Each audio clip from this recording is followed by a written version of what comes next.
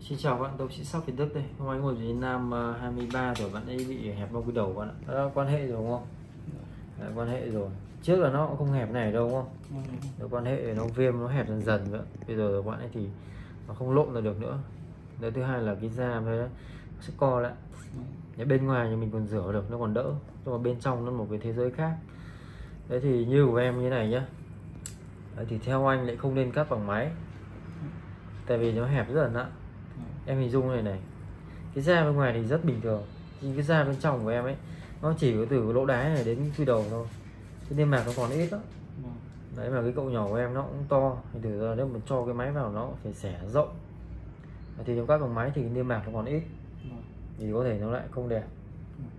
Tại vì cái sẹo của cái bao quy đầu thực ra mình cũng không không không quan trọng lắm đâu.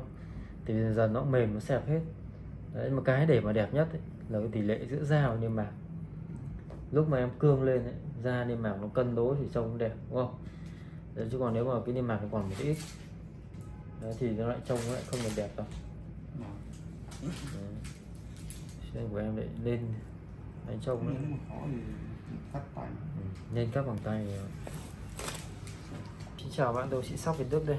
Đấy, Vừa cắt bao cái đầu cho một trường miền Nam 27 tuổi Bạn ấy hẹp bao đầu độ 1 các bạn ạ. Các bạn ấy hẹp và nó viêm rất là nặng Đấy các bạn thấy hình dung là cái quy đầu nó bị bé lại này Thấy không? Cái, cái thân dương vật của bạn này rất to các bạn nhìn thấy này. Đấy, nhưng mà quy đầu nó bị teo, nó bé lại. Đấy, cái lỗ đái đây Lỗ đái nó chỉ có khoảng 2-3mm thôi. Alo ạ. Thường nó phải to gấp đôi như này. Vâng vâng vâng Chứ là nếu mà bạn mà cắt sớm ấy thì vâng cái vâng dương vật bạn đến rất là đẹp. Thế nhưng mà tại vì bạn cắt muộn quá. Anh Viêm. nó viêm nó teo lại. Vâng vâng vâng. Rồi đấy còn đây thì cái cái vết mổ đây bạn thấy là cái đầu này bé đấy, khâu với cái đầu to. Đây một trong những trường hợp mà khó.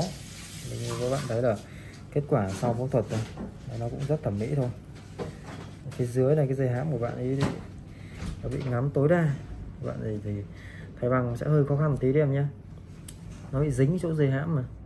Đây phải gỡ tối đa ra mới được một tí này. Đây là tầm khoảng đến 5 mm 5 mm như mạc đấy.